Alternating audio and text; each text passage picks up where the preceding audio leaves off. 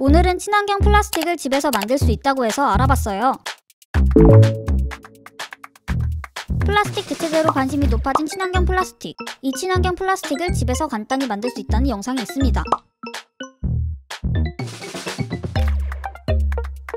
반응이 아주 뜨겁습니다. 진짜 쉽고 명료한 영상이네요. 조금 더 딱딱한 플라스틱을 만들 수 있을까요? 키보드 keycap을 만들어 보려고요. 2008년 올라온 이 영상에 지금까지 댓글이 이어지고 있는데요. 정말 가능한 건지 직접 실험해봤습니다. 영상에 나온 대로 전분, 식초, 글리세린 물을 준비했습니다. 전분 한 숟갈, 물 네 숟갈, 글리세린, 식초 각각 한 작은 숟갈을 넣고 가열했더니 끓기 시작하다가 투명하고 진득한 물질로 바뀝니다.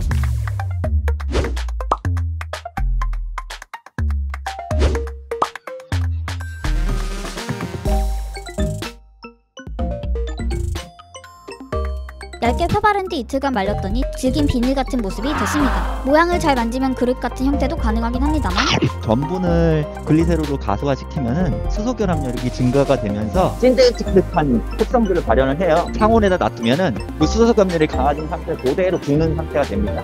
그게 플라스틱이라는 건가요? 생분해성 플라스틱은 맞습니다.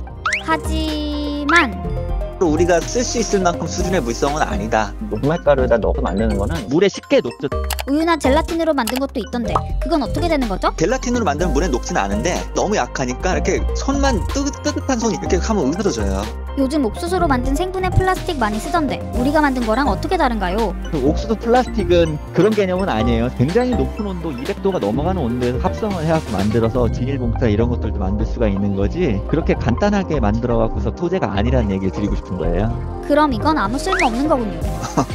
그만큼 이제 우리가 플라스틱에 대한 심각성을 이제 소비자들이 인식을 하고 있고 그거를 조금 더 줄여보고자 하는 노력이잖아요. 관심들이 가져주시면 나중에 연구자들로 가셔서 체계적인 연구를 하셔서 해결할 수 있는 자원으로 커졌으면 좋겠다라는 바램.